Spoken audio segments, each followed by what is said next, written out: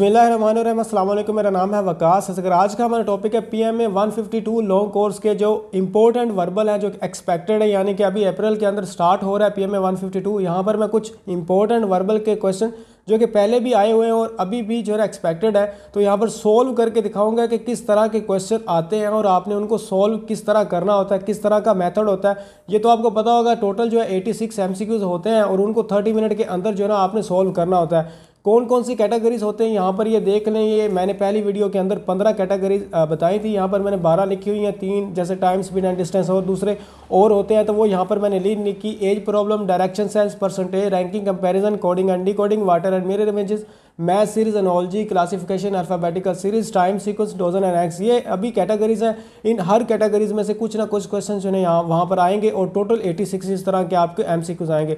अब हम कुछ क्वेश्चंस कर लेते हैं, जैसे कि which letter is far from L as from T मतलब कौन सा ऐसा लेटर है जो कि एल से भी उतनी दूरी पर है जितनी कि टी की दूरी पर है? अगर मैं इसको आसान जो है ना, ज़ुबान में इसको कहूँ तो इसका मतलब ये है कि कौन सा ऐसा लेटर है जो कि एल और टी के दरमियान में आता है? तो इस तरह के आपने जो है ना, उंगलियों पर भी गिन सकते हैं, आप अपने जो होता है कीबोर्ड वहाँ पर उसका भी हिसाब लगा सकते हैं। तो जैसे कि एल है तो यहाँ पर अगर मैं वैसे आपको करके इसको सोल्व करके दिखाऊँ, जैसे कि L M N O P Q R S T अब यहाँ पर एल और टी इन दोनों के दरमियान कौन सा ऐसा एक लेटर आपने बताना देखिए, यहाँ पर ये तीन यहाँ पर मैंने उठा ली और तीन ही मैंने टी से पीछे वाले उठा दिए, यानी कि तीन तीन जो है ना आपने, अब दरमियान में कौन सा बच गया? तो पी जो है ना वो इन बिटवीन है एल और टी के दरमियान में आ रहा है। तो हमारे पास जो आंसर आ जाएगा वो पी होगा, इसको अल्फ़ाबेटिकल सीरीज़ कहते हैं और अल्फ़ाबेटिकल सीरीज़ में मुख्तलिफ़ तरह के क्वेश्चन आते हैं तो वो मैं सारे आपको करवाऊँगा, लेकिन आगे मैं आपको बताता हूँ।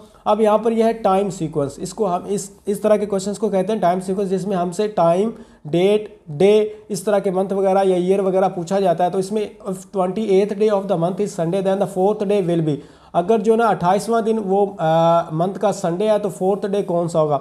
अब इसको करने के दो तरीके होते हैं। एक तरीका मैं आपको माइनस वाला बता दूँ। एक हफ़्ते के अंदर जो टोटल होते हैं, वो सेवन डेज़ होते हैं।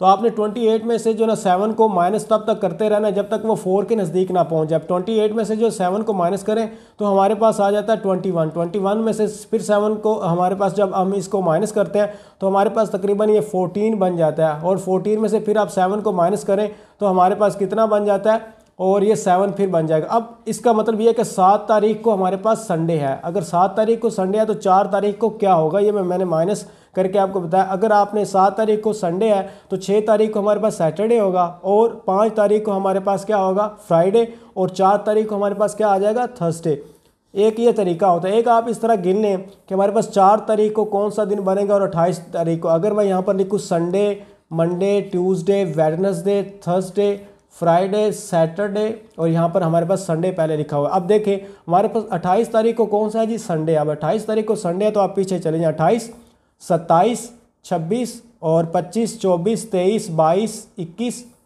बीस और उन्नीस, अठारह, सत्रह, सोलह, पंद्रह, चौदह और उसके बाद तेरह, बारह ग्यारह, दस, नौ, आठ और यहाँ पर आ जाता है हमारे पास सात।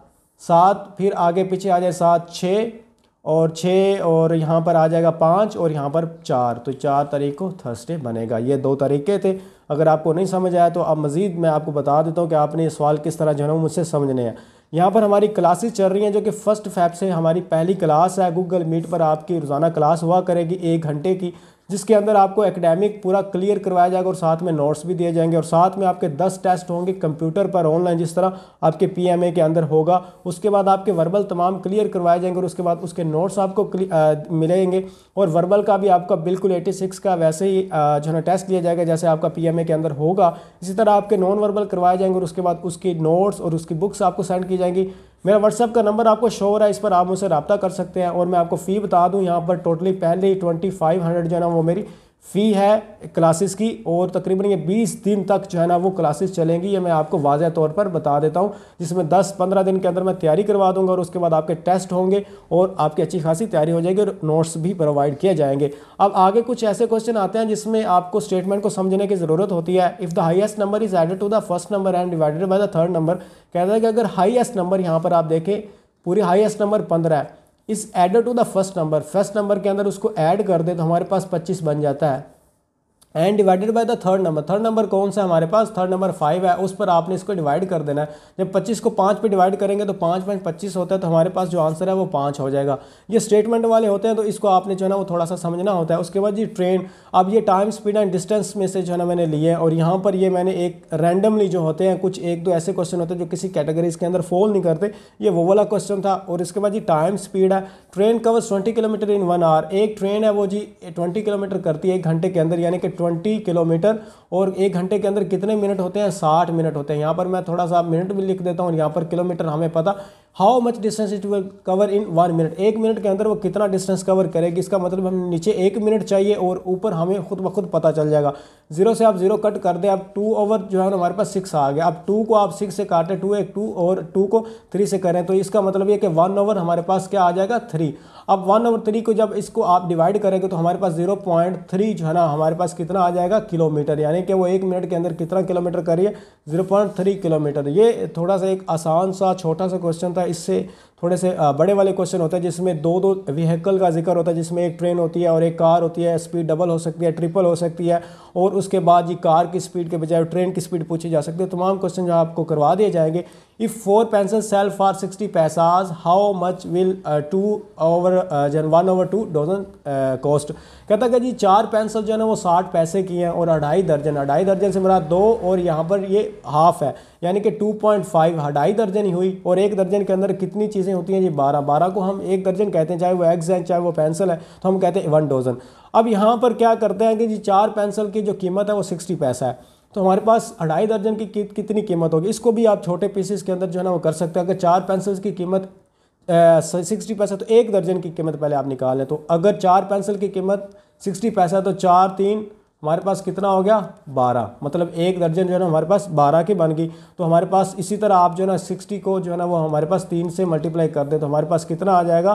एक सौ अस्सी पैसा। एक सौ अस्सी पैसे से मुराद कितना है? एक रुपया और अस्सी पैसा। ठीक है, चलो मैं वन पॉइंट एटीन लिख देता हूँ आपको ताकि समझ। अब ये एक दर्जन अगर एक रुपया अस्सी पैसे की है तो दो दर्जन कितने की हो जाएँगी? तो आप आपस में दो दर्जन के लिए क्या करेंगे? एक शरिया, ये जो एक रुपया अस्सी पैसे को इनको आपस में ऐड कर देंगे। एक दर्जन की कीमत एक रुपया अस्सी पैसा है तो दो दर्जन की कीमत कितनी हो जाएगी? ये दो दो, ये दो रुपया हो जाएँगे और आठ आठ सोलह होता है तो तीन रुपये तीन रुपये और तकरीबन साठ पैसा जो है ना वो हमारे पास बन जाएगा, लेकिन हमें अढ़ाई दर्जन चाहिए। अब तीन दर्जन की कीमत अगर हमारे पास कितनी है जी? तीन रुपये और साठ पैसा। अगर ये तीन दर्जन की कीमत है, अब हमारे पास अढ़ाई यानी कि हाफ़ दर्जन की कीमत कितनी होगी? एक दर्जन की कीमत एक रुपये अस्सी पैसा आती तो हाफ़ दर्जन की कीमत कितनी होगी? तकरीबन अगर आप वन पॉइंट एटी का जो है हाफ़ करें तो हमारे पास ये कितना बन जाएगा? ये नाइन्टी पैसे बन जाएँगे। तो आप इसके अंदर 90 पैसा और जमा कर दें तो तीन रुपया बन गया तो 90 पैसा में, यानी कि 90 में चले ये 60 ही जमा कर दें। तो हमारे पास क्या आ जाएगा जी?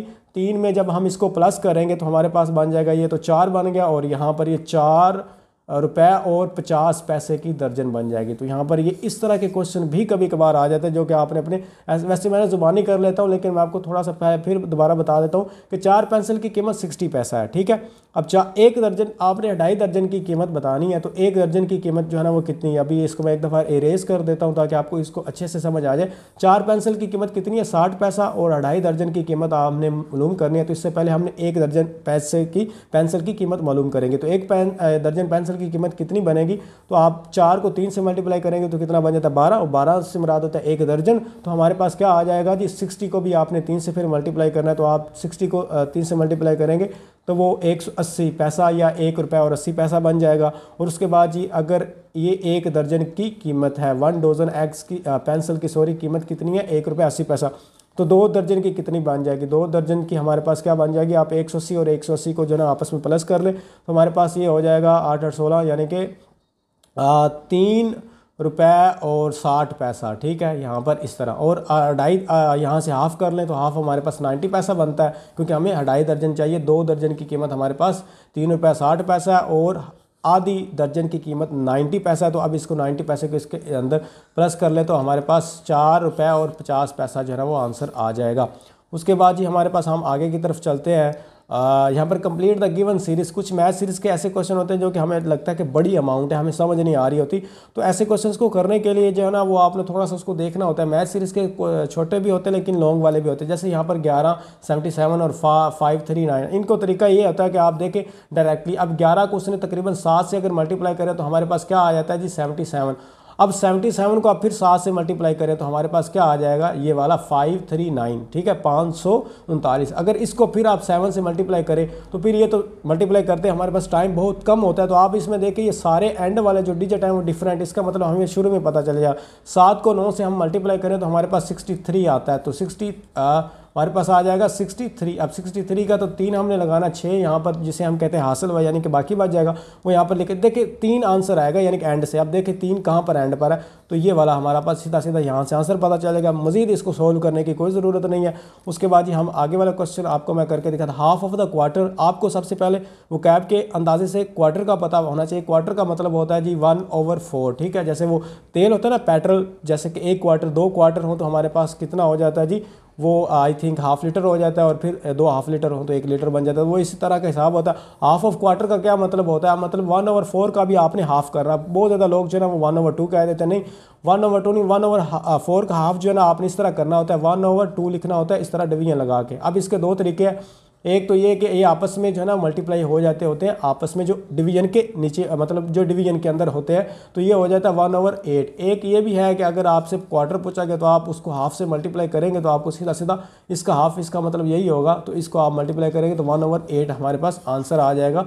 तो ये इसका आंसर था और उसके बाद जी what letter comes alphabetically in the word fluctuation अब देखिए बहुत ज़्यादा लोग यहाँ पर कंफ्यूज हो जाते हैं कि ए बी सी के अंदर अगर हम देखें तो ए पहले आता है। तो इसका मतलब ये था कि कम्स अल्फ़ाबेटिकली मतलब कौन सा लेटर पहले आता है इस फ्लक्चुएशन के अंदर तो वो ए आंसर होना चाहिए था, लेकिन ये गलत है। अब इसको अल्फ़ाबेटिकली आपने अरेंज किस तरह करना होता है? इसको आपने इस तरह गिनना होता है कि ए बी सी को मैच करना होता है। तो जो लेटर लेटर से मैच कर ले, वो पहला होता है। वो और उसके बाद दूसरा अगर मैच करे तो दूसरा मिसाल के तौर पर एफ़ है तो एफ़ ए यहाँ पर तरतीब से लिखते जाए। बी सी डी ई और यहाँ यू के नीचे एफ़ आएगा ए के नीचे, A B C D F G और टी के नीचे एच और आई के नीचे आई आप देखिए आई के साथ आई मिल रहा है। जी एच आई जे और के। मतलब ये, इनके नीचे आपने ए बी सी को तरतीब से लिखना है। आप देखें कौन सा मिल रहा है आपस में। एफ़ ए के साथ मिल रहा है? नहीं, बिल्कुल भी नहीं, क्योंकि ये सेम नहीं है। तो आई आई के साथ मिल रहा है। तो हमारे पास जो आंसर होगा वो आई होगा, क्योंकि यहाँ पर क्या है? जी, ये इसके साथ मैच हो रहा है। और मिसाल के तौर पर यहाँ पर मैंने कोई भी आप जो है ना, वो वर्ड लिखवा दें। आगे वाले एक और आई थिंक क्वेश्चन है, उसको भी मैं आपको अरेंज करके दिखाता हूँ। आपको मज़ीद समझ आ जाएगी। अब मदर के अंदर कौन सा अल्फ़ाबेटिकली ऑर्डर में जो है ना, वो पहले आ जाता है। अब मदर के अंदर है ए वो ओ की जगह हम बी और टी की जगह सी और यहाँ पर H A B C D E F अब देखें यहाँ पर ई e के साथ फिर ई e मैच कर रहा है तो ई e हमारे पास यहाँ पर आंसर आएगा, ठीक है? और इस तरह जो है ना अल्फ़ाबेटिकली अरेंज होते हैं, लेकिन अगर आपसे ये पूछा जाए कि डिक्शनरी के अंदर अगर हम मदर को अरेंज करें तो सबसे पहले कौन सा आएगा? तो उसमें भी ई आएगा, लेकिन अगर हम यहाँ पर देखें कि अगर यहाँ पर हमसे पूछा जाए कि ए बी सी डिक्शनरी के मुताबिक कौन सा पहला वर्ड आएगा तो वो हमारे पास कौन सा आएगा जी? वो हमारे पास ए होगा, लेकिन अल्फ़ाबेटिकल अरेंजमेंट में ए नहीं होगा अल्फ़ाबेटिकल अरेंज में आई होगा। तो ये हमारे पास थे नंबर आपको शो हो रहा था, आप मुझसे ऑनलाइन क्लासेस ले सकते हैं। इसमें आपको बहुत ज़्यादा मैं वर्बल और नॉन वर्बल और एकेडमिक करवाऊँगा। तो अगर कोई बात पूछने वाली है, पूछ सकते हैं, मुझे दीजिए इजाज़त। अल्लाह हाफिज़।